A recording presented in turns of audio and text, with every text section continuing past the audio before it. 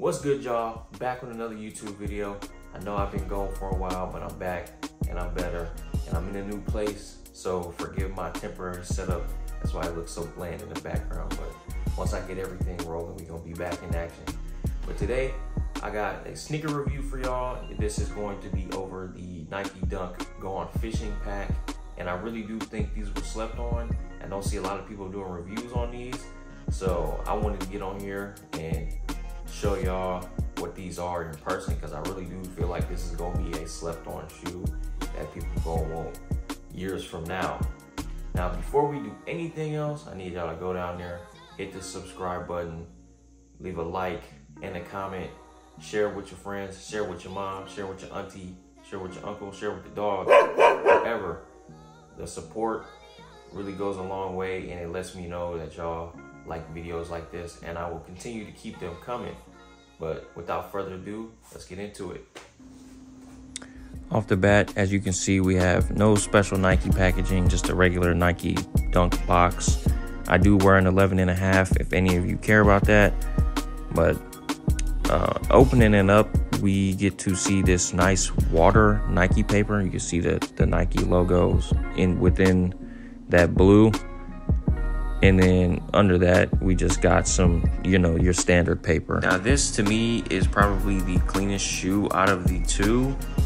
And this one is uh, is inspired by the king salmon. If you guys haven't seen that i will be putting a picture somewhere on the screen. Now the big thing with these dunks on both pairs is the hooked swoosh. I really like that small detail and it's one you can definitely miss if you're not paying attention.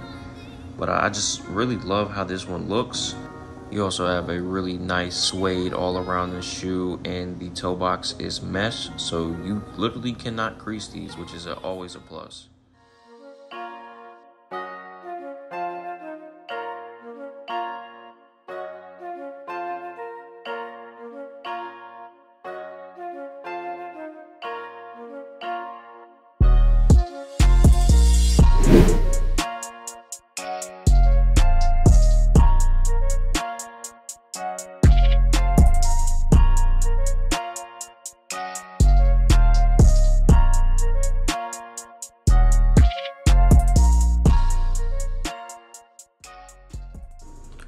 All right, next pair up is the Rainbow Trout version of the shoes, and we have the same presentation on this one as we did the other.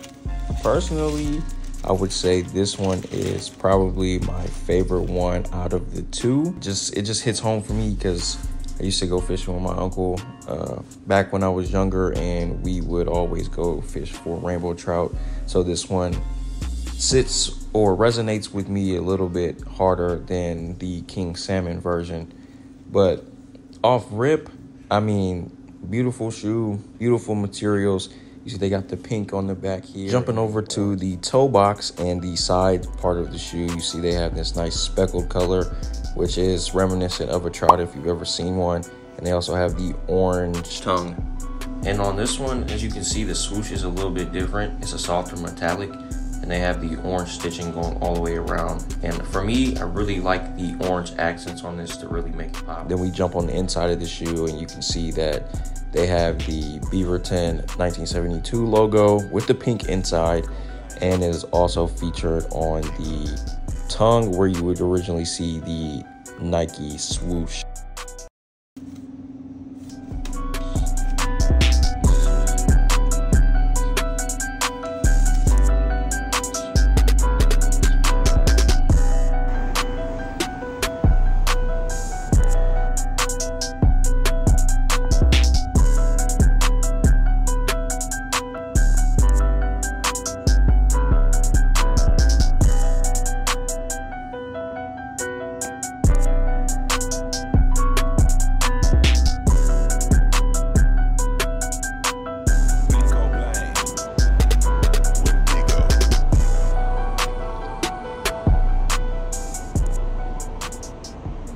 All that being said, y'all let me know down in the comments which one y'all like more. Did y'all like the rainbow trout ones or did y'all like the king salmon ones?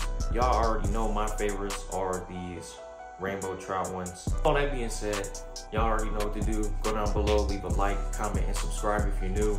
Let me know if y'all like content like this. I do enjoy creating these videos for y'all. And oh, diamond down here too. Leave a like, comment, and subscribe. And I'll catch y'all on the next one.